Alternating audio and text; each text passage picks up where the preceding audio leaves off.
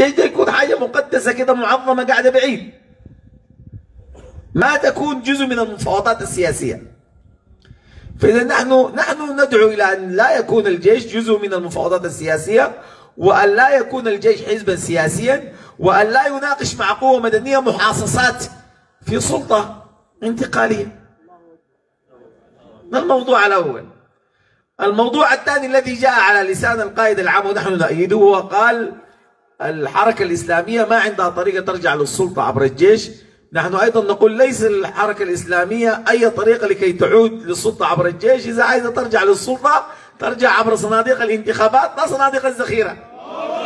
لكن في ذات الوقت كذلك نقول لا لعودة قحط للسلطة عبر الجيش.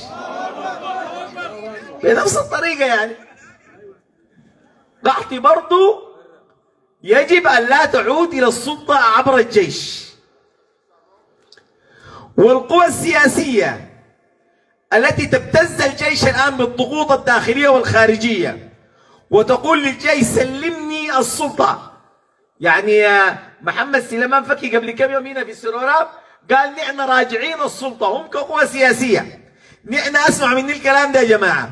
القوى السياسية الوصول الطريق الوحيد للوصول للسلطة عندها القوى السياسية المحترمة هي الانتخابات وصناديق الاقتراع أي قوة سياسية تحاول للوصول للسلطة عبر ابتزاز الجيش فهي قوة انقلابية.